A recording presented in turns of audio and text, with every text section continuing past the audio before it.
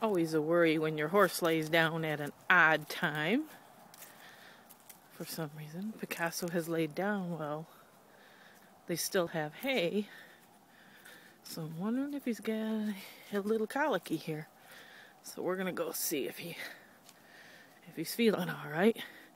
Generally they do lay down, but they have their times that they lay down and this is not a time he normally sleeps.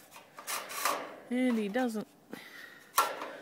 He looks like he might have a bellyache. I gotta shut the gate. I'll try to keep this on Picasso. You coming? Dog's coming too. Let's go see. How are you, Picasso?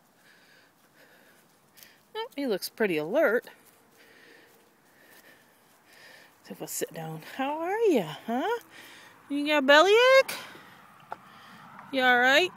He's not rolling or anything.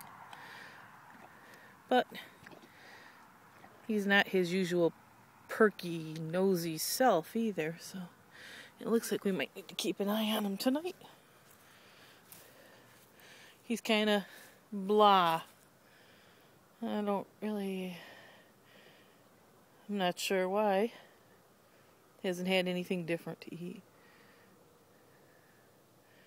He's usually a lot more alert than this, and normally he will get up when you come up to him. So I'm assuming he's he, he's got a bit of a bellyache. He looks like he's going to start rolling.